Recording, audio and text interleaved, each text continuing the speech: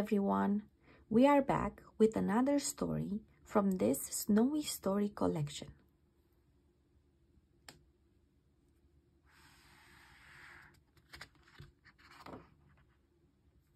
This one is called Mittens for Mouse.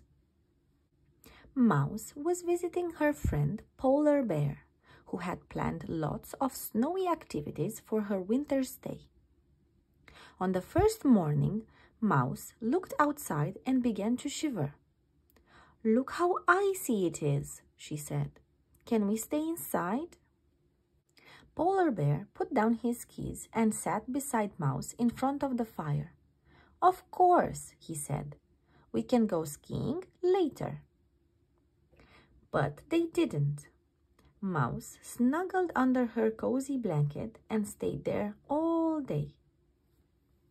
The next morning, Polar Bear was up bright and early. Are you ready to go skiing today?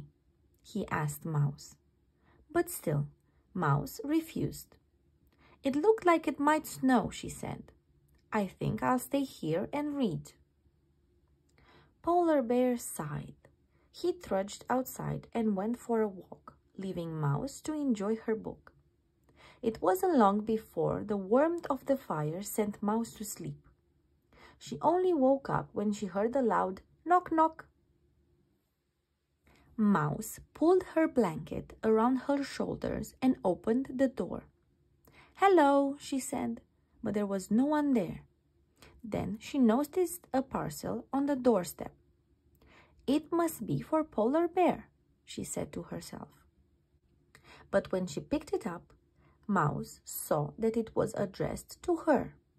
She ripped off the paper and found a pair of woolly gloves inside. The note read, Put these on and come outside.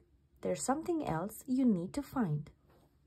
Mouse finally stepped into the snow, but she hardly felt the cold. She was too excited thinking about her next clue. She soon found it by the holly bush, and inside the parcel was a woolly hat. You're almost ready for the snow. The igloo's where you need to go. The final clue led her to a parcel with a fluffy scarf inside. She read, Now you're feeling warm and snug. Can you find a cozy? Mouse turned over the piece of paper. Where was the end of the clue? Then she looked up and saw Polar Bear with his arms open wide. Hug! he called, wrapping Mouse in the cuddliest bear hug she could ever ask for. Thanks for getting me ready for winter, said Mouse. Now let's go and have some fun.